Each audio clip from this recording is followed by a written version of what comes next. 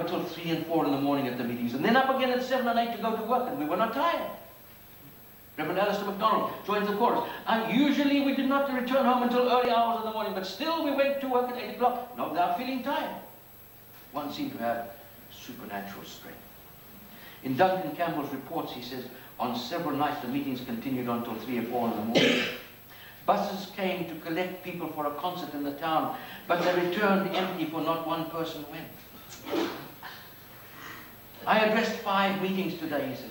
We simply cannot get the people away, and the meetings just continue on till tomorrow morning.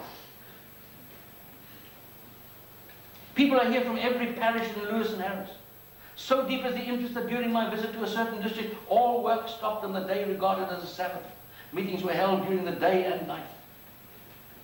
Yesterday, buses brought people to certain districts. Other came by boats, but most came over the hill and moor by foot. Very few cars in those days. So eager were they a few nights ago on the hearing that we were to be at a certain church at 11 o'clock at night, they secured buses and arrived an hour before the service, filling the churches, filling the church, so that the people of the district, when they came to the church at 11 o'clock, had to remain outside for two hours. We had a praise meeting this morning at 1.30. At 4 o'clock this morning, we were assembled at the shore, singing the praise, songs of Zion, as the boats carried them across the sound to the main island. Four o'clock in the morning. One of the elders, he said, assured me last night that every person on this island, I think it was Brother Harris, uh, every person on this island who could be out was in church.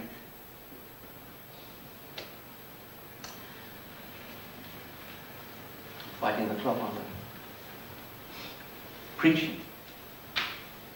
What about his preaching? Norman Campbell says Duncan Campbell was a fiery preacher and he preached the full gospel. At first he preached the law and the judgment, then he would go on to Jesus as the Savior. Mary says, Every night now I walk to the church to hear this preacher thunder forth the judgments of God. He stormed up and down the pulpit expounding scripture, preaching damnation to the lost and salvation to those who repented and savingly believed. I knew one thing. This man was sincere. Maggie Mary remembers the preaching had been searching, but the night revival broke out in Arnol, it was simply overpowering. The Holy Spirit was applying the word to so many hearts as we listened to the intense presentation of the gospel. The, the text rang out again and again, and thou, Capernaum, who art lifted up to heaven, will be cast down to hell. And the preacher applied the word personally. You, the word personally. You are here tonight, and you have turned your back on God. Once, twice, even three times you have said, and are continuing to say to him, I don't want to know Christ. You have been lifted up to heaven. You will be cast down to hell. And the power, the power of the Holy Spirit was overwhelming. The sense of the presence of God bowed all our hearts.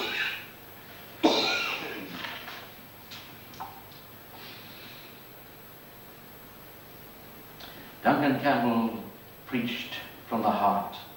His preaching was practical, plain, personal, passionate, penetrating, powerful. He spoke to the heart with tremendous authority and boldness. Andrew Woolsey says, there was nothing complicated about Duncan Campbell's preaching. It was fearless and uncompromising. He exposed sin in its ugliness and dwelt at length on the consequences of dying and li living and dying without Christ.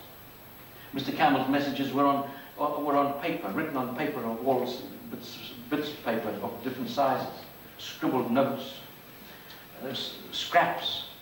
They weren't written out in detail at all. He would simply write a word to remind him of a particular illustration. So nobody would understand the scribbles where, which were his messages. They were in Gaelic.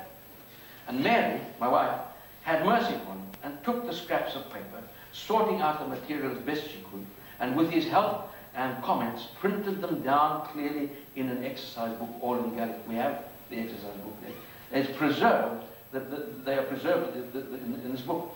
Uh, each sermon would take up about a page or two of A5. That's all he had to preach. It would consist of three or four headings with a few explanatory notes uh, under each head. At the side of each sermon would be the dates and times when it was preached. We have this preserved a record not complete in, in any means, by any means, of the sermons preached in the various places in which he ministered during the revival. But as we worked together on this, on this thing, and Mary uh, translated, uh, it, it was absolutely amazing. The simplicity, the absolute simplicity of the preaching.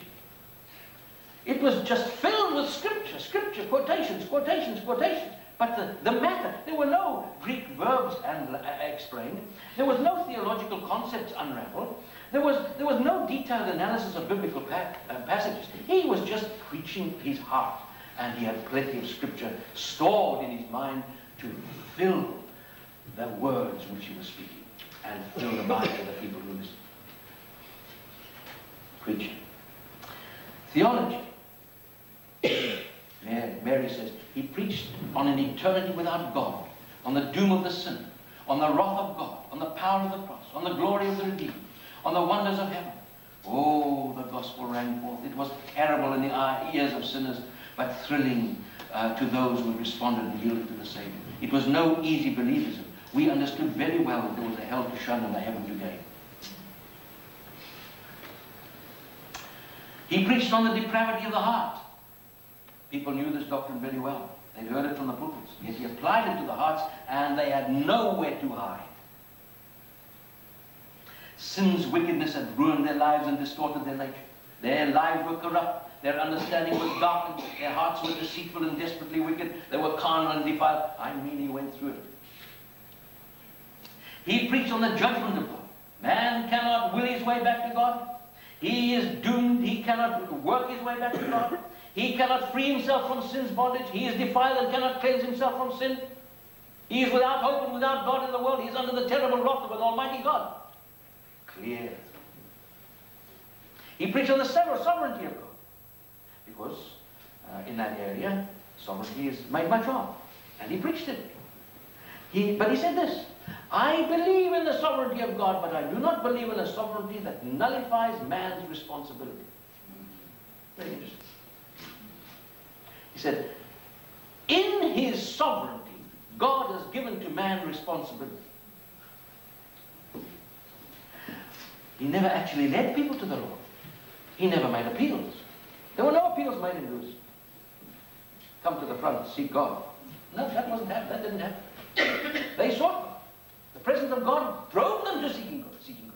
The conviction of, of the Spirit of God drove them out and they sought God. He would at times clear a room and have an after meeting and pray with them. So we have the depravity of the heart, the judgment of God, the sovereignty of God. Uh, holiness was another emphasis. Because when you come into the presence of God in revival, you are dealing with a holy God. And that comes through the holiness of God. God is holy.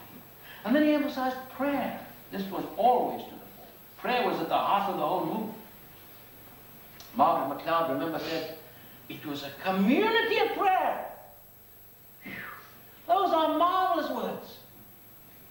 See, if my people humble themselves, seek my face, and so on. If my people, 2 Chronicles 7.14, you know that verse. If my people, not just a few here and a few here and a few there of my people, but if my people, the community, the community was praying, God answered. Two old ladies prayed, yes. The men in the barn prayed, or the house prayed, but it was a community. They were united with one heart and with one voice. God, come, come, come. Then, um, the after meeting. The after meeting. Duncan never led people to wrong. he got, got them, he would, for instance, the, the house would be filled